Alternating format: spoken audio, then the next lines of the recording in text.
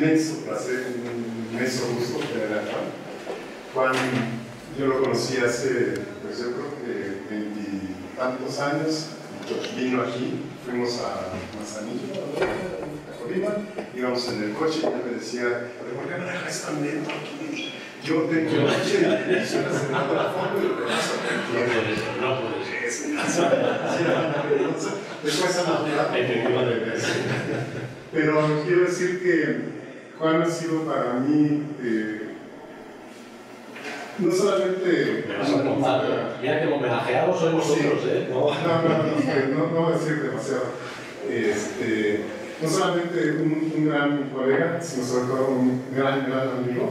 Compartí con él la oficina, que amablemente me aceptó durante año y medio, hace ocho años, cuando estuve de sabático en Valencia por primera vez.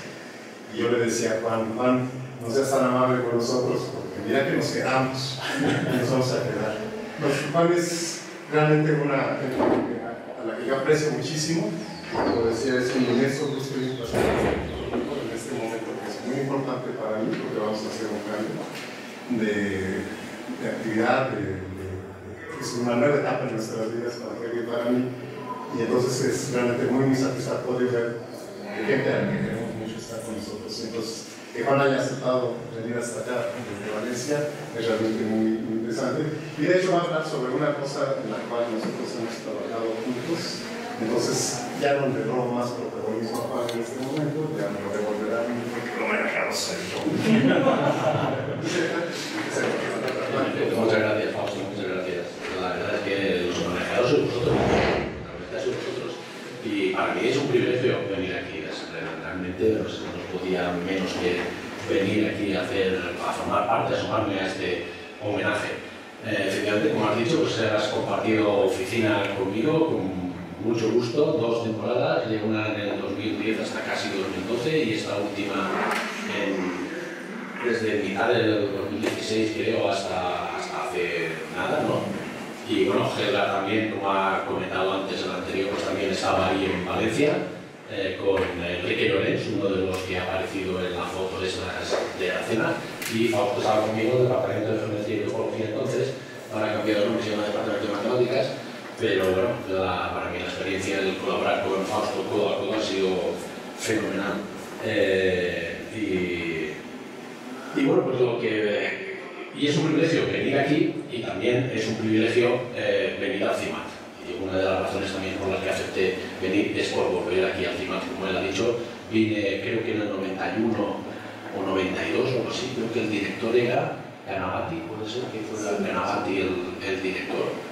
Me sorprendió mucho aquel, aquella vez porque cuando yo venía, vengo de la Universidad de Valencia, y entonces de Valencia vine a la Valenciana, que fue la verdad bastante curioso. Aún no me, no, no me ha explicado nadie cómo es que se llama la Valenciana este, este, esta zona. ¿no? Eh, y entonces cuando le, se enteró de que venía de Valencia, dijo, ah, de ahí es Valdivia. No sé si Valdivia os suena, bueno, sí, ¿no? Y me sorprendió mucho que conocieran a uno de mis profesores. De Jaén, efectivamente, sí.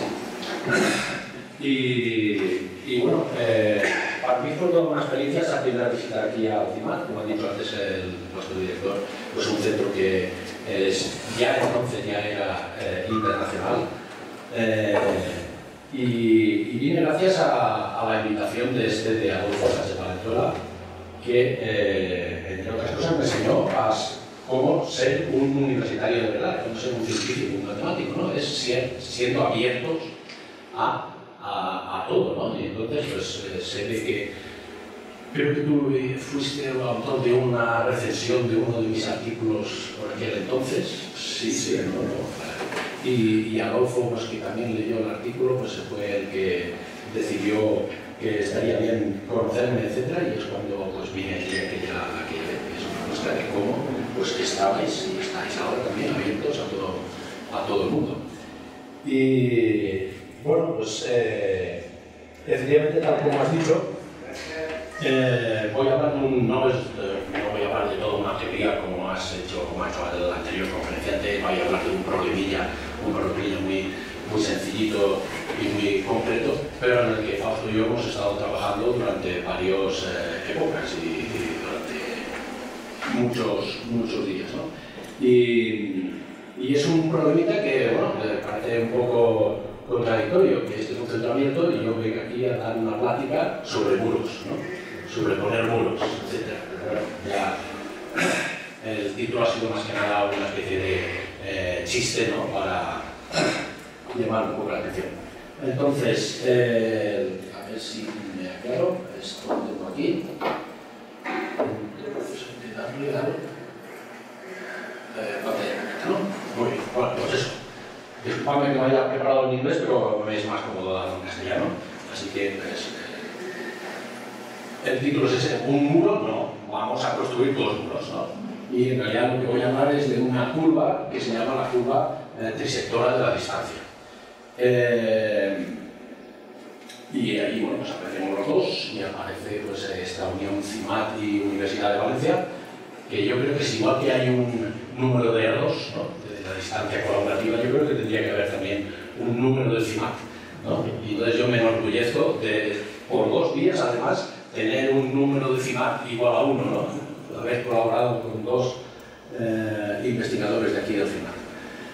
Bueno, pues eh, el problema viene de una generalización de lo que se llaman los diagramas de Voronoi.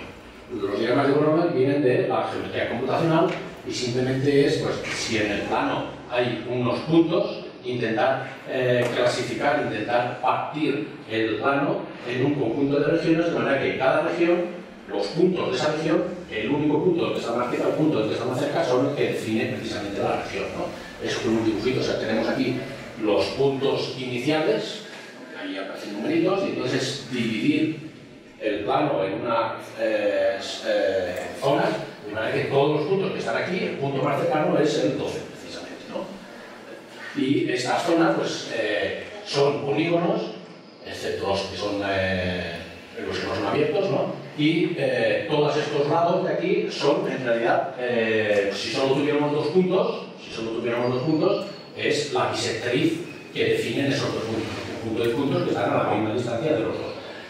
Y por tanto, todos estos segmentos que veis son secciones de esas, de esas bisectrices correspondientes. ¿no? Si solo hay dos puntos, ya digo, pues el conjunto de puntos que están a la misma distancia de, de ellos dos, pues especialmente una recta que es la bisectriz. Bien, pues eh, en un artículo de estos tres autores, es, uno es de la República Checa y los otros dos son japoneses, pues lo que quisieron es definir diagramas de Voronoi con zonas neutrales, con lo que se llaman zonas neutrales. ¿Y por qué querían zonas neutrales? ¿Y cuál es la motivación o la, eh, explicación, digamos, un poco metafórica de, por qué querían definir estas zonas neutrales? Pues porque, eh, bueno, yo creo que lo que podemos hacer, y voy a usar de tu, de tu paciencia, vamos a ilustrar casi que... No te voy a hacer cantar en francés, ¿eh? tranquilo. No lo voy a hacer cantar en francés. aquí, ¿no? Como, como de los autores eran japoneses, pues plantearon una, una explicación en términos de samuráis y de las guerras feudales del Japón del medioevo, eh, etc. Entonces, imaginemos que aquí hay dos señores feudales, ¿no? Eh, pero también podemos imaginarnos que tú eres el Peña Nieto, ¿no? el presidente, que yo soy nos estamos dividiendo aquí las zonas de influencia. Entonces, si solo estamos nosotros y lo hacemos como los diagramas de Voronoi, pues lo que aparecería aquí es una, un muro, ¿no? un muro por aquí en medio que separaría las dos zonas de influencia. ¿Vale? Entonces, estamos cada uno en nuestro castillo y vigilándonos a ver qué es lo que hacemos, ¿no? No sea cosa que uno quiera invadir eh, al otro, ¿no? Entonces, imagínate que eh, yo pues, salgo por aquí y entonces tú tienes que reaccionar, porque si no, puedo enseguida llegar ahí, ¿no? Entonces, cada vez que desde un castillo feudal el señor feudal sale con su ejército, pues el otro tiene que reaccionar, no sea cosa que llegue antes a la frontera e invada un trozo de, de, este. Pero yo simplemente puedo dar una vuelta y realmente lo que quiero es ir a cobrar impuestos. Quiero cobrar impuestos simplemente a mis protegidos. Y tú has salido pero te quedas ahí sin decir, que no va a ir nada, ¿no? Y entonces, bueno, pues para evitar que cada uno de los signos feudales reaccione inmediatamente a, cada movimiento del otro, pues lo que hay que hacer es una especie de zona neutral, ¿no? Una zona neutral, tú tendrías por aquí una, ¿no? estaría aquí Fausto, ¿no? aquí estaría yo, y lo que tendríamos ahí es una zona neutral, ¿no? aquí, zona, una tierra de nadie, donde solo cuando yo, pues imaginamos que es esto, solo cuando yo cruce esta zona es cuando él reacciona para evitar que yo entre en su zona. ¿Se ha entendido más o menos? Bueno, pues nada, como siempre, nada más. Bueno. La buena actor, además. texto. Bueno, pues entonces, eh, esa curva que aparece por ahí es la que los estos autores denominaron la función trisectoral de la distancia. Eh, bueno, aquí hay una explicación que es más o menos lo que ellos dicen ahí. No solo hay dos, sino que hay n eh, reinos mutuamente hostiles y que cada uno está en un castillo, etc. Los, los territorios están separados por una tierra de nadie, una zona neutral, y si uno ataca, ¿no? solo eh, cuando pasas esa zona, cuando pasas a la zona neutral es cuando el otro reacciona. ¿no? y así puede interceptar efectivamente el, ataque. ¿no? Eh, bien, bueno, pues es, más o menos la explicación. Esto suena a estas películas, yo veía estas películas de Kurosawa, ¿no? Donde aparecían estos ejércitos ahí con sus banderitas. Nos ha faltado, nos ha faltado ponernos una, una banderita de color, de color por ahí. ¿no? Venga, ahí la, más o menos la interpretación es esta que he dicho. Si cada vez que uno sale, el otro también reacciona, pues cuando resulta que no iba a ningún sitio, sino que simplemente se paseaba por su, por su zona, pues es una pérdida de, de tiempos y recursos y por tanto hay que encontrar una zona neutral, ¿no? De manera que solo cuando el, uno de los enemigos sobrepasa esa zona sobrepasa, entra en la zona neutral, el otro reacciona y le da tiempo de llegar ¿no? a su frontera y eh, y evitar que entre, ¿no? Y entonces por eso la solución es, en lugar de un muro, pues hagamos dos, ¿no? Y así además está claro quién paga cada muro, ¿no? bueno. Entonces, la pregunta es, eh, hay una curva, efectivamente existe la curva sectora de la distancia y si es una especie de punto fijo también, bueno, veremos ahora qué, porque eh, se entiende aquí por lo del punto fijo de un sistema dinámico. Y para explicar esto, pues eh, he recordado este esta situación hipotética del asno de Buridan, ¿no? del burro de Buridan, que es un burro que está, eh, está muerto de hambre y muerto de, sed, y resulta que a cada lado, ¿no? a la misma distancia, tiene o paja o tiene agua, ¿no? y entonces como no sabe qué hacer, ¿no? casi eso se queda fijo, se queda como punto fijo ahí, y al final se muere porque no, es, casi como si me pusieran a mí entre la paella y un guacamole o alguna de esas maravillas que tenéis ahí. No sabía yo también hacia dónde ir. Lo que pasa es que para mí sería aún peor, porque yo soy bastante voluble. Y entonces, en lugar de quedarme fijo como el este, lo que haría sería irme hacia un lado, ¿no? Y cuando llego, cuando estoy a mitad camino más o menos, pensando, ¿vale? Que guacamole era buenísimo el guacamole. Y no me volveré a ver. Voy a ver el guacamole, pero no, la paella, la paella, que me voy a mí, la paella y así, y al final también me moriría, ¿no? Obviamente también. Entonces hay una especie de, de eso, de que eh, el punto que empieza a la misma, ¿no? empieza en el centro, en el punto medio entre los otros dos, y lo que pasa es que primero va hacia un lado y cuando llega a mitad del camino, pues dice, no, me voy hacia otro. Y entonces cuando vuelve a estar a mitad camino, ahora ya sería este punto de aquí, cambia de opinión y se vuelve hacia atrás, etc. Entonces, obviamente, al final, ¿qué le pasa ¿O qué me pasaría a mí? Pues que acabaría también oscilando eternamente entre esos, entre esos dos puntos. Bueno, pues eh, la manera de demostrar que existe esta curva bisectoral es hacer una especie de proceso similar. Tenemos los dos puntos, ¿no? que serían esos dos castillos donde están los señores ciudades, y lo que queremos es dividir, ¿no? encontrar cuál es la zona neutral, ¿no? cuáles son las fronteras de esas zonas de influencia de cada uno de esos puntos. Entonces empezamos con la línea recta, como si fuera el asno este de William, y lo que hacemos es, dado esta recta y dado este punto, encontrar cuál es el conjunto de puntos en el plano que están a la misma distancia de este que de la recta, ¿no? Entonces, el conjunto de puntos que están a la misma distancia de un punto y una recta, pues eso es, es clásico, lo sabéis ya los griegos, eso es una parábola, ¿no? Entonces, pues la bisectriz entre, la bisectriz entre el punto y una recta es una parábola, ¿no? Puntos que están a la misma distancia. Y ahora continuamos, ahora cambiamos de idea y en lugar de ir hacia ese lado, vamos hacia el otro. Vamos a hacer es calcular también el conjunto de puntos que están a la misma distancia de este punto de aquí abajo y de la parábola, ¿no? Eso ya queda una parábola ya de grado superior, ¿no? Pero que más o menos es esta, ¿no? Y que está a la misma distancia de este que de este. Y observar que aquí, como va a estar a la distancia más corta, son puntos, este punto, hay que buscar la distancia más corta a la, a la otra eh, curva, pues eh, este segmento es, incide ortogonalmente, ¿no? Incide ortogonalmente sobre, sobre esa. Bueno, y así podemos seguir haciendo eh, cambios hacia aquí y allá, y bueno, pues más o menos al final se ve que efectivamente va convergiendo a una, eh, a una curva.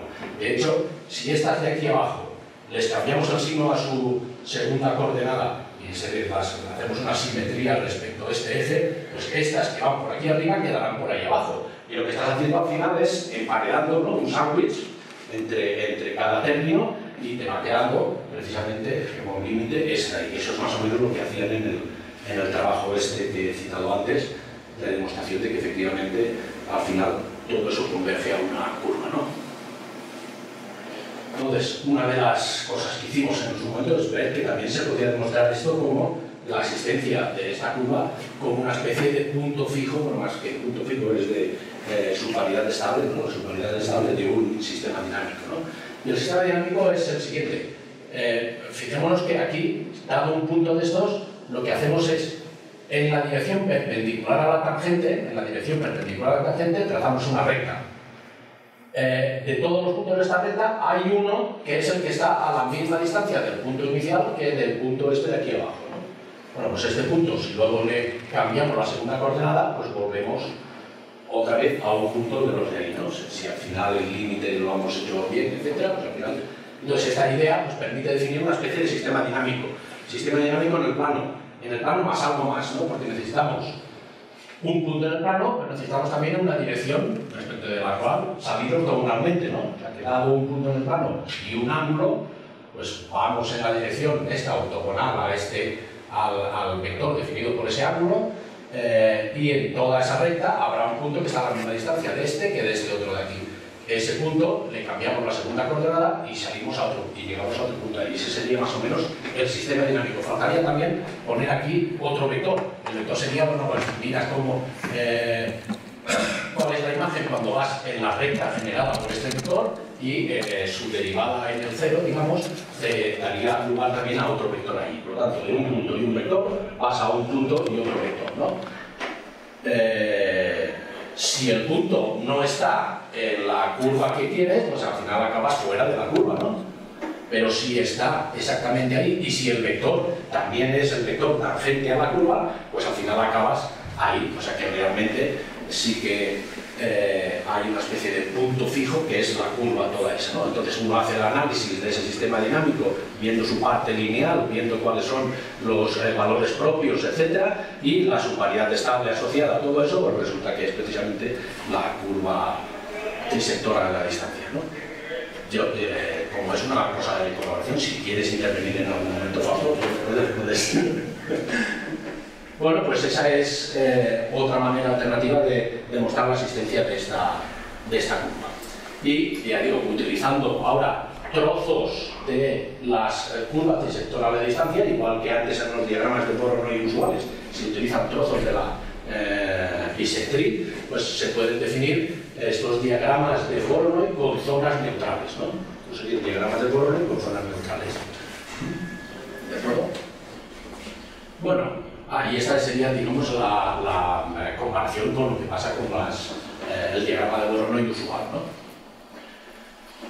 Venga, eh, entonces aquí voy a abrir un paréntesis porque es una discusión que tuvimos en algún momento. Es, ¿Se corresponde esta función trisectora de la distancia con la explicación esta mm, en términos de señores feudales y de, de amenazas y de invasiones, etcétera, estas? Y entonces llegamos a la conclusión de que no era lo mismo. ¿no? Y ahora voy a explicar por qué. Entonces, en la, función trisectora, la distancia, Recordemos que, eh, digamos que cada curva, la parte de arriba y la parte de abajo, pues son eh, las bisectrices respecto de la otra. ¿no? Bisectrices en el sentido de que, dado este punto y dada la curva esta de aquí abajo, ¿no? la, el conjunto de puntos que están a la misma distancia de aquí y de ahí es precisamente la parte de arriba. ¿no? Por lo tanto, cada punto de aquí, como ya he dicho antes, pues está a la misma distancia de este que de la curva de abajo. Y como es de toda la curva, pues la ortogonalidad está aquí abajo, ¿no? La ortogonalidad está, es punto, una curva y la otra donde es ortogonal el segmento. ¿De acuerdo? Venga. Pero en la eh, justificación en términos de invasiones y de señores feudales, etc., aquí hay un señor feudal que cuando sale y atraviesa, su, eh, atraviesa a la zona neutral precisamente en este punto, es entonces cuando el de aquí abajo tiene que reaccionar. Cuando el de aquí abajo tiene que reaccionar. Y para reaccionar, la curva eh, tiene que ser tal que la distancia al punto más cercano, ¿no? Desde aquí al punto más cercano de este, porque este si quiere invadir, donde va a ir es al punto más cercano, ¿no? Pues que esta distancia de aquí tiene que ser igual a esta. Y por tanto, como hay un punto más cercano a esta curva, ahora la ortogonalidad es aquí abajo, es en la curva del medio, ¿no? Antes era en la curva ¿no? Era punto, la curva del medio y la otra curva, y ahí era donde era ortogonal. Pero ahora no, ahora es punto, la curva del medio donde es ortogonal y la otra curva. Entonces, se, se ve que la diferencia es eh, significativa ahí, ¿no? Pero bueno, el caso es que no es la misma curva, aquí está el dibujo eh, porque nos pusimos también allí a calcular cómo sería esta curva, entonces la de color rojo son la curva trisectora de la distancia, utilizando eh, la bisectriz, ¿no? utilizando el concepto de bisectriz, mientras que las de color azul son la curva de, eh, que aparece como consecuencia de todo el proceso de invasión y de etcétera. Pues no es la misma curva, yo creo que tiene más propiedades, mejores propiedades esta, la, inicial, ¿no? Esta era más sencilla, tenía asíntotas, por ejemplo, ¿no? Creo recordar, mientras que la otra no tiene asíntotas, etc. Y lo que sí que es cierto es que si el señor feudal atraviesa la línea roja, como la línea roja está antes que la otra, ¿no? Pues este y aún puede llegar a su, a su momento. Pero bueno, solo era un detalle sobre, sobre esa comparación. Y esto, bueno, pues ahí el paréntesis y seguimos con lo que estuvimos haciendo eh, en su momento eh, Fausto y yo. En el artículo este que he citado dejaban abierta una conjetura. Eh, quería demostrar si la curva esta trisectora de la distancia era una curva algebraica o no. Si esta curva, principio la puedes entender como la gráfica de una función, ¿no? La puedes ver en lugar, en lugar de como la he pintado ahí, pues pintarla así en horizontal, la puedes ver como una gráfica de una función, pues si es una curva algebraica, si es una función algebraica, ¿no? si es solución de algún polinomio. ¿no? Eh, ¿Eso por qué se lo plantearon estos, eh, estos autores? Pues por ver si es una curva realmente, si es una función realmente nueva, si es una función distinta de las que uno ya eh, se conoce usualmente. Bien, bueno, pues eso. Curva algebraica es que exista un polinomio, ¿no? un grado determinado, tal que todos los puntos de la curva pues, satisfagan precisamente una ecuación compleja. ¿no? Entonces, eh, lo que se puede hacer es el desarrollo en serie, de Taylor de lo que sería la función o esta curva ¿no? Eh, ahí en, en, el cero, ¿no? El cero que estaría en este punto, este punto sí que sabemos cuál es, ahora después lo, lo comentaré. Y lo que voy a hacer ahora es eh, cómo se va haciendo ese desarrollo de Taylor. Entonces, hay un resultado eh, clásico de 1900 y algo, que utilizaban ya estos autores, que dice que podemos parametrizar esta curva de, de una manera determinada tal que la opuesta, la opuesta sea una parametrización similar, simplemente hay que poner ahí una constante A. Hay que poner ahí una constante A, o sea que hay una parametrización aquí de manera que la parametrización de abajo relacionada de esta manera, o sea que si este era el punto para este punto, que verifica que esta distancia es la misma que esta, bueno, pues que esta, este punto de aquí tiene por coordenadas precisamente eh, x de a por t y menos y de a por t, ¿no? donde a, ya digo, es una constante. Eh, bien, pues, eh, y lo que queremos por la definición es que la distancia entre estos dos puntos, 0 y 1 y xt, esa distancia de ahí sea igual a esta otra distancia, ¿no? A la distancia entre este punto de aquí y el de ahí abajo. Y además queremos también que este segmento, este segmento incida perpendicularmente sobre la otra curva, o sea que eh, tengamos que este segmento, que sería esta diferencia de coordenadas, pues sea perpendicular a la derivada eh, en, este, en este punto. ¿no? Y la derivada aparecería un factor A, pero como está igual a cero, o está diciendo simplemente que sean ortogonales, pues no vale, no hace falta poner ese factor A. Bueno, pues es simplemente escribir esas ecuaciones, ¿no? escribirlas con más detalle y después eh, darse cuenta de, de, dos cosas. Primero, que eh, hay una cierta simetría, ¿no? Hay una simetría en el sentido de que si hacemos una simetría vertical ahí, pues te queda lo mismo. O sea, que si este es x de t, este coordenada de aquí tiene que ser x de menos t, tiene que ser menos x de t, ¿de acuerdo? Esa simetría está, está clara. Y luego eh, hay otra que es que este de aquí, el i de menos t, y de menos t, tiene que ser el y. ¿De acuerdo? Y por lo tanto, la x, la función x es una función impar, ¿no? Los desarrollos de Taylor se tiene que poder escribir de esta manera y la y es una función par, que se tiene que escribir por tanto también de esta manera. Venga, entonces, eh, este punto es el 0 un tercio, ¿no? Porque entre 0,1 y el 0 menos 1, estamos dividiendo la distancia en tres partes, ¿no? Entonces está claro que este es el 0 un tercio y abajo sería ¿no? aquí el 0 menos un tercio. Y además también el, el, vector tangente a esta curva en ese punto es horizontal, ¿no? Por la simetría anterior. Y por lo tanto, ya podemos decir que este primer eh, coeficiente que aparecía aquí es igual a, a 1, porque es la derivada, no podemos suponer que es 1 porque es la derivada eh, que queremos que salga así horizontal, ¿no? Y eh, que en t igual a 0 pues estemos precisamente a la altura un tercio, O sea que empezamos de esa manera. Venga, entonces, con esos dos, y ya tomando derivadas con respecto a t en t igual a 0, disculpadme el, el detalle, ¿no? Tomando derivadas con respecto a t t igual a 0 en esta ecuación, pues en el primer paso uno llega a estas ecuaciones. Unas ecuaciones cuadráticas que relacionan el A y el, eh, el A, que es ese factor que teníamos por ahí, y este primer coeficiente P sub 2. Entonces, esas ecuaciones cuadráticas tienen dos soluciones. Una que es esta y otra que es esta de aquí. Entonces, ¿cuál es la que interesa? Pues, a ver, el P sub 2, por ejemplo, ¿no? el P sub 2 era el coeficiente este de aquí, de la Y. La curva más o menos hace como una parábola con un mínimo, ¿no? Por lo tanto, ese P sub 2 tiene que ser positivo, ¿no? Entonces, pues, de las dos soluciones, pues hay que elegir esta de aquí abajo, que es la del P positivo, que también tiene el A positivo, ¿no? ¿De acuerdo? Entonces, pues, se elige esta de aquí. Entonces, eh, solo un comentario que después vendrá bien, y es que eh, la diferencia entre una y otra es simplemente una conjugación, ¿no? Es cambiar el signo este de raíz de 3. Entonces, a partir de ahí, una vez ya se ha eh, seleccionado esta solución, pues ya con un proceso recursivo donde solo hay ecuaciones lineales, puede ir calculando todas las, todas los coeficientes de esas funciones. ¿vale? Y lo que va saliendo son siempre coeficientes que están en la extensión de los racionales por raíz de 3. ¿no?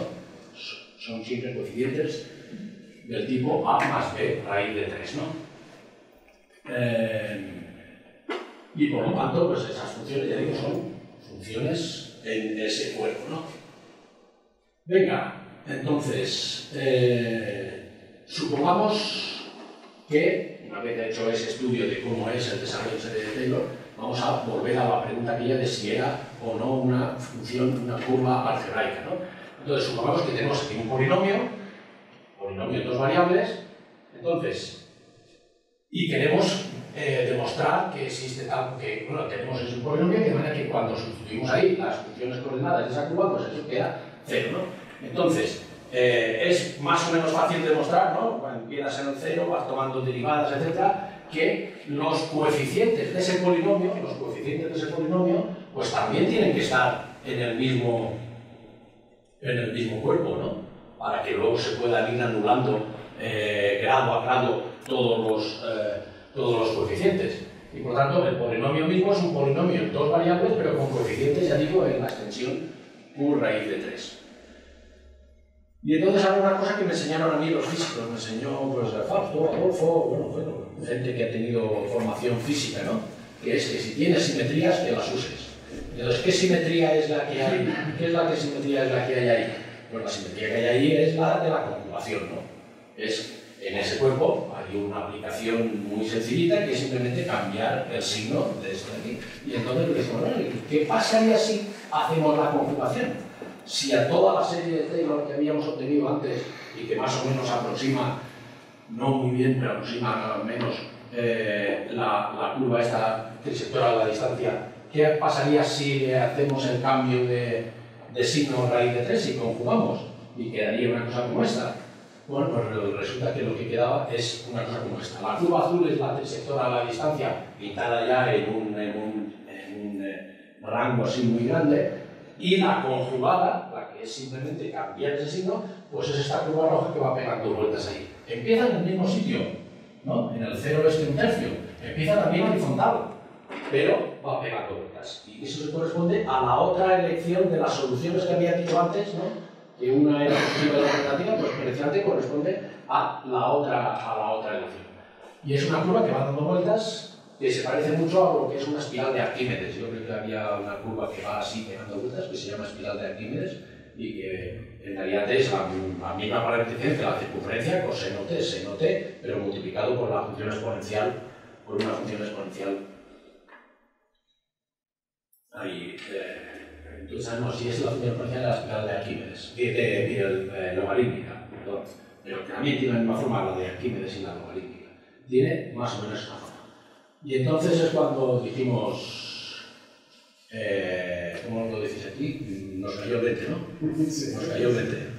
Porque si la curva esta eh, conjugada de la trisectora de distancia resulta que corta infinitas veces, tiene la... No, tiene, no. Eh, eso fue luego otra cosa, pues demostrar efectivamente que cortaba infinitas veces que cada vez que va cortando aquí una, según la pendiente, según la tangente, etc., pues luego volverá a cortar en, eh, digamos, bueno, tenemos cotas para que bueno, pues cortará otra vez entre tal y tal punto, ¿no? etc. Pero siempre va cortando infinitas veces, pues si una curva corta infinitas veces a una recta, esa curva ya no puede ser algebraica. ¿El por qué? Pues es básicamente lo mismo que, si, eh, que el teorema fundamental de álgebra si tú tienes un polinomio igualado a cero, como, muchas, como, como mucho tendrá n soluciones y el grado del polinomio era n, y no hay más, ¿no? Entonces, si tú tienes una, el polinomio p, que habíamos puesto p de x, y igual a cero, si por ejemplo buscamos los puntos, se nos corta al eje y igual a cero, estamos poniendo p de x 0 igual a 0, tenemos un polinomio simplemente en x, polinomio de grado n, pues como mucho tendrá n soluciones, quiere decir que como mucho corta n veces al eje al eje este. Entonces, si esta curva eh, conjugada resulta que corta infinitas veces, ya no puede ser, la curva conjugada ya no puede ser eh, algebraica. Pero si la curva conjugada no es algebraica, ¿no? si la curva conjugada no es algebraica, la curva inicial tampoco lo puede ser. Porque si la curva inicial lo fuera, conjugando todo, incluido el polinomio que define a esa curva como curva algebraica, conjugando todo sería la demostración de que también es la conjugada algebraica. Pues esa es eh, más o menos la, la idea de por qué no puede ser una curva, esta curva trayectoria de la distancia no puede ser algebraica. Resolvimos la conjetura que habían dejado abierta en ese, en ese artículo. Eh, lo que pasa es que después contactamos con uno de los autores, con el checo, y inmediatamente después nos eh, planteó la siguiente conjetura, que es, bien, ya sabemos que no es algebraica, que no es solución de un eh, polinomio, ¿no? Pero será eh, del tipo esta de función elemental, ¿no? Será una función elemental. Funciones elementales son aquellas que se definen como composición de funciones conocidas, ¿no? Polinomios, pero funciones, también funciones trigonométricas, eh, función exponencial, pues eh, puede, uno hacer composiciones de estas y esas serían las funciones elementales. Las funciones elementales son las que tampoco son composición de esas funciones. Funciones no elementales son las que no son composición de funciones elementales, como por ejemplo la más conocida que la función esta de error, que esta no es eh, función elemental. Bueno, pues lo intentamos en su momento, pero ahí fracasamos. Tenemos que, tenemos que decir que fracasamos, pero lo tenemos, pendiente. Y por último, lo que sí quería contar es una aplicación de todo esto de las diagramas de, zonas neutrales, de diagramas de Voronoi con zonas neutrales. Y es una aplicación que me encontré en eh, neurobiología, porque tenía un compañero que estaba trabajando en ello y me hizo una consulta hace tiempo y, y después eh, me recordé algo de, de, la relación que puede tener esto con la función transitoria a la distancia. Entonces, a ver si se explicarlo. Yo no sé, ¿hay alguien aquí que sea de neurobiología o, o así? ¿No? ¿Eh? Puedo decir. Entonces, a ver, es, según que creí entender, en la retina de los mamíferos ¿no? hay diversas capas de neuronas y en esas capas de neuronas hay dos tipos de células. ¿no? Aquí están representadas más o menos las células que son puntos negros, sólidos, y, los, y las células así, que son las neuronas que son eh, de otro, del otro tipo, ¿no? que son estas así blancas por. ¿no? Entonces, cada uno de esos tipos de células pues, tiene su función. Quiero recordar que unas son las que sirven para detectar la forma de los objetos que estás viendo y la otra sirve para detectar el movimiento. Cuando ¿no?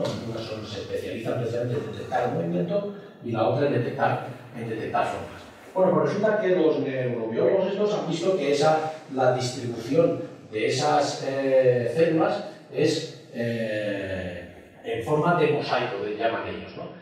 De forma mosaico quiere decir que donde hay una de estas, las otras intentan separarse, intentan separarse de las, ¿no?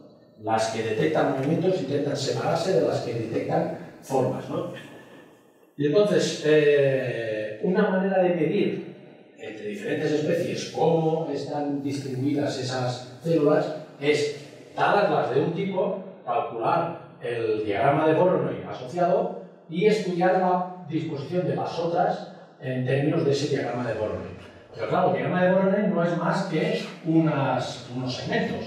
Entonces lo que hacen es, a partir del diagrama de Voronoi, lo ensanchan, lo ensanchan una cierta distancia, ¿no? Ahí, calculan la distancia, digamos, a, a un lado, eh, a cada uno de los lados, y después ponen un porcentaje ahí de esa distancia hacia, hacia cada lado. Entonces, eh, como se puede ver, pues ese, esas zonas ya están pillando, ya están pillando algunas de esas células de otro tipo. Entonces, viendo la proporción de células que caen en esa zona ampliada del diagrama de Voronoi y las que no caen, pues obtienen un numerito que les sirve, digamos, para clasificar distintas especies de eh, mamíferos según la disposición de estas células en la, en la retina. ¿Se había entendido más o menos? ¿Sí? Bueno, pues eh, lo que pasa es que con los diagramas de Voronoi con zonas neutrales, que aparecen, ya hemos visto, de manera más o menos natural, pues también podemos hacer lo mismo. Entonces, eh, esta es la misma imagen pero ampliada. Y, eh, ah, y esta es la comprobación de que efectivamente, a partir de la imagen que yo obtuve del artículo este de la revista de neurobiología, pues eh, el diagrama de Voronoi es el que efectivamente toca. Y lo que hice fue calcular el diagrama de Voronoi con zonas neutrales de esos mismos puntos, ¿no? ¿Vale? Y comparar. Y entonces, pues efectivamente queda una cosa como esta. Y si comparamos con eh, el diagrama de Voronoi anterior, pues vemos que precisamente las zonas estas de ahora nuevas, ¿no? Caen siempre dentro de lo que habían más o menos intuido los eh, neurobiólogos, ¿no? O sea que ellos querían precisamente ver qué zonas son las de más influencia de estas y ver cuáles son las que caían fuera, pero que además hay neuronas que antes no estaban en esa zona ampliada, que ahora sí que están en la zona neutral.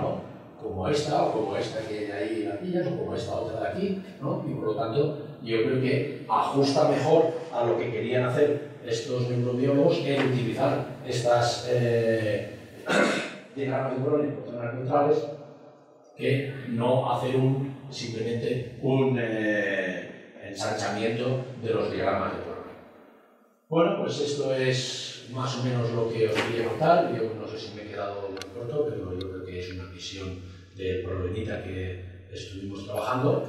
Y por último, lo que quería mostrar es, eh, quiero descubrir a Fausto, qué es lo que hacía en el momento diario más importante de un investigador matemático allí en Valencia, día, qué es lo que hace.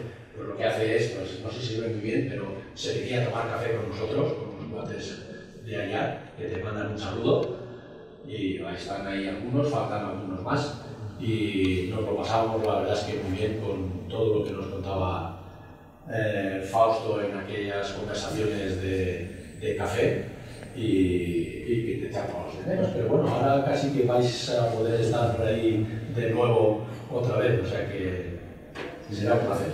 Será, será un placer. Bueno, pues esto era todo lo que quería contar y que, bueno, que, que pasé bien.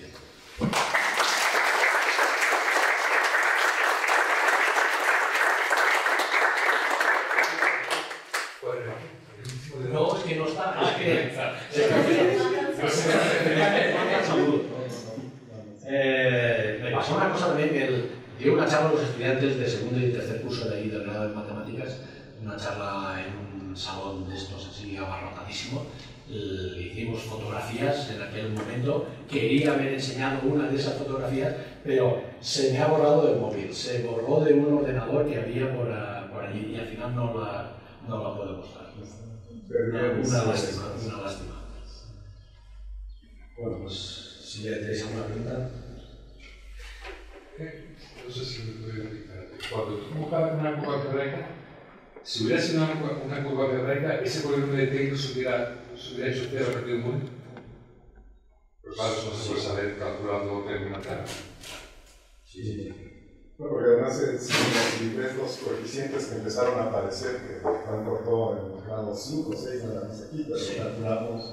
Sí, se ha convertido en un especialista en matemáticas. No, no, no.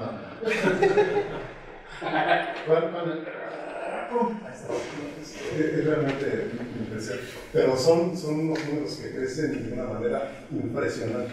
impresionante. Quieres llegar a, a grado 17, 18, por ahí así, y ya estás al límite de capacidad de las de Claro, lo que pasa es que sería como mucha casualidad, ¿no? Que, que fuera una curva de ser. O sea, que las curvas algebraicas son poquísimas dentro de las Sí, curvas. sí, definitivamente. Pero como son curvas escogidas con criterios particulares, cuando tú escoges algo con un Claro, particular, no estás jugando de- a la probabilidad.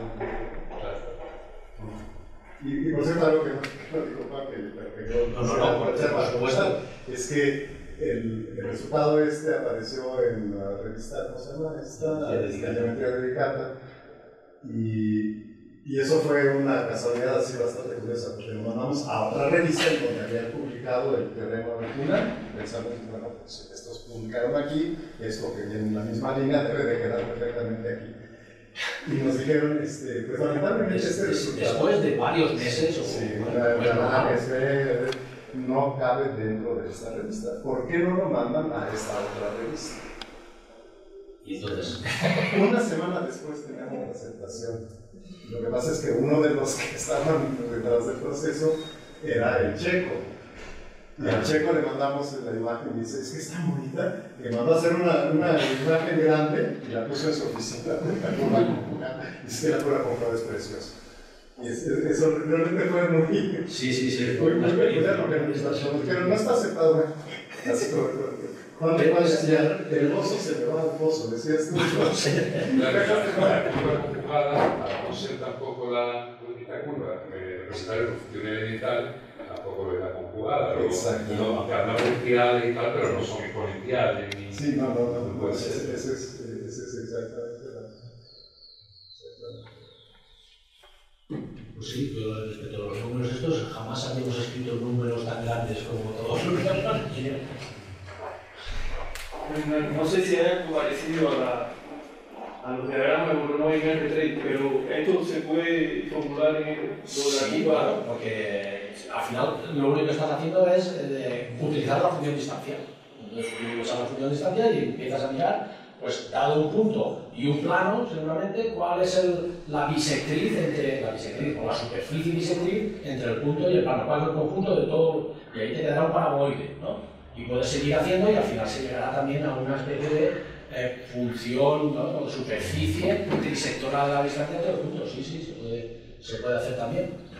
Lo que no, no lo he visto en ningún sitio, pero sí que es, es. Entonces eso, cuando en lugar de ser guerras de señores feudales sobre la superficie terrestre, sean guerras interestelares, ¿no? entonces ahí es cuando aparecerían los, las funciones, estas sectores de la distancia en R3. Yo creo que lo antiguo, sin saber la curva cuál era, más o menos. Más o menos. Ya cuando tengo que salir, según de teoría, ¿no? Claro, de hecho, de hecho, por eso en el artículo original, el signo menos, que después nos ayudamos a resolver la conjetura, no lo consideraban, porque ellos sabían cómo debía de ser la curva. Entonces decían, bueno, la curva tiene que ser convexa, y entonces el signo más es el que va, si tome menos, no. Entonces lo desechamos. Y recuerda eso un poco a las soluciones de las ecuaciones cuadráticas que sacaban los babilonios, ¿no? donde decían, a ver, largo por ancho, ¿no? entonces salía que largo era más grande que, más chico que ancho, entonces decían, no, esa no, porque largo por definición es más largo que ancho. Entonces así un poco procedieron. Hay unos comentarios. Yo no sabía cómo No está grabando. Y la, la conjugada también se podrá reconstruir por medio de un sistema dinámico como... Yo creo que sí, yo creo que debe de poder. Yo creo que incluso hasta lo intentamos en algún momento, algún, alguna comprobación de que efectivamente sí que la distancia, no puedo volver atrás. A ver, volver hacia aquí atrás.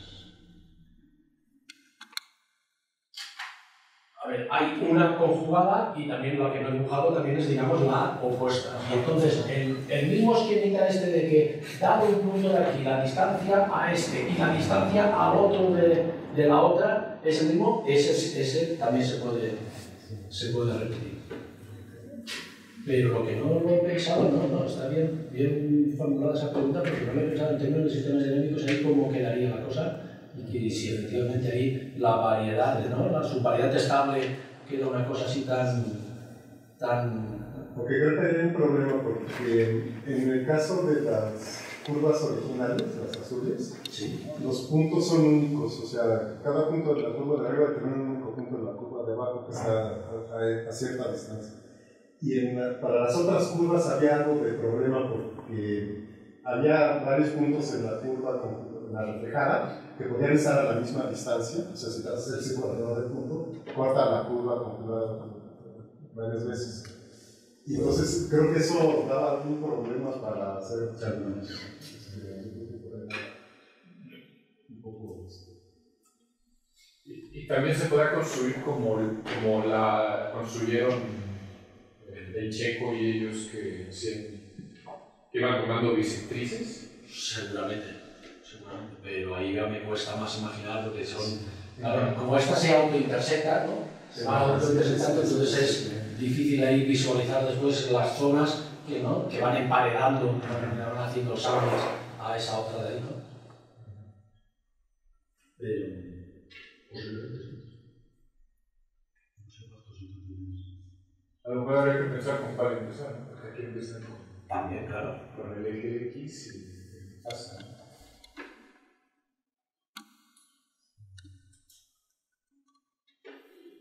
Del eje X es mismo eje X, así, ¿no? No hay- Sí, bueno, sí, pues es, es la primera opción porque es la bisectriz. Sí. ¿Más preguntas? Pues, bueno, que vaya muy bien, de verdad. ¿eh?